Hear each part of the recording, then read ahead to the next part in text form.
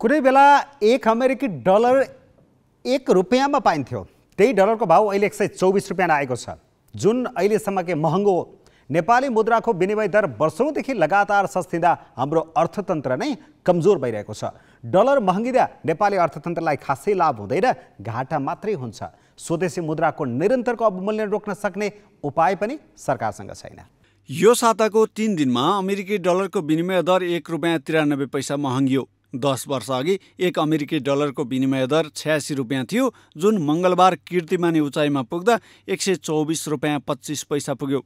यो चौवालिस दशमलव पाँच प्रतिशतको अवमूल्यन हो।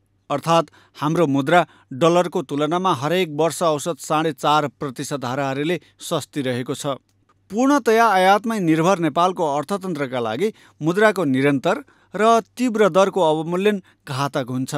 यसले एकातिर विदेशी ऋणको दायित्व बढाइदिन्छ अर्कातिर डलर तिरेर हामीले विदेशबाट आयात गर्ने सामानको भाउ बढ्छ। भारतबाटै पनि कतिपय वस्तु किन्न हामीले डलरमै भुक्तानी गर्नुपर्छ।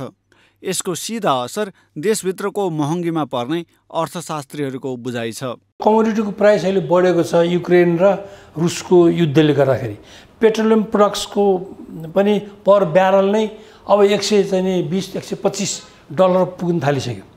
भन्दाखेरि त्यो मूल्य पनि वृद्धि जुन भएको छ अब भारतीय मुद्रासँग हामी पेक्ड भएको हुनाले पेक्ड भए तापनि पेक्ड नभएको भए त अहिले झन् विकराल स्थिति हुन्थ्यो। त्यो पेक्ड भएको कारणले पनि अब हामीले पनि सफर गर्ने देखिन्छ। थर्ड कन्ट्रीबाट आयात गर्ने र मेटेरियल्सहरू मसिनरीहरू पार्ट्स पूर्जाहरूको पनि मूल्यमा अत्याधिक अन्तर्राष्ट्रिय बजारमा मूल्य वृद्धि भइरहेको छ हामीले के गरेर एक्सपोर्ट गर्न सक्ने क्षमता हामीले विकास गर्न सकेको भएदेखि निर्यात गर्दाखेरि हामीलाई गेन हुन्थ्यो। एक्सचेन्ज गेन भन्छ नि हामी। अहिले संसारभर खाद्य वस्तुदेखि पेट्रोलियम पदार्थको मूल्य महँगिएको छ। यसमाथि डलर पनि महँगिएपछि नेपाल जस्ता आयातमा निर्भर मुलुकले महँगीको दोहोरो मार खेप्नु परेको छ। डलर महँगिँदा नेपाल विद्युत प्राधिकरण जस्ता सार्वजनिक संस्थानको दायित्व पनि बढ्छ।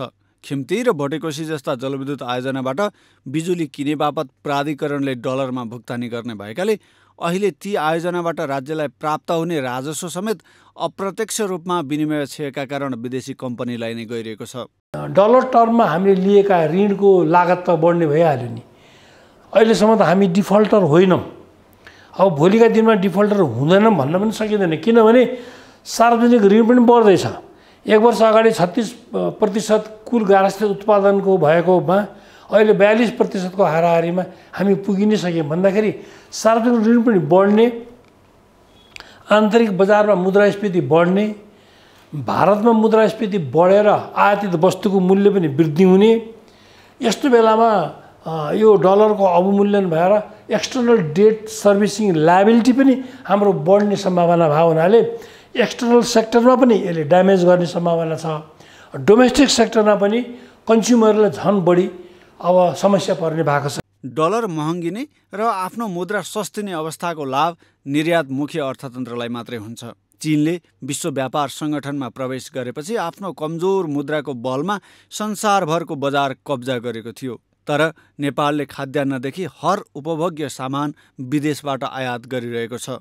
देशभित्र उत्पादन लगातार घट्दो क्रममा छ।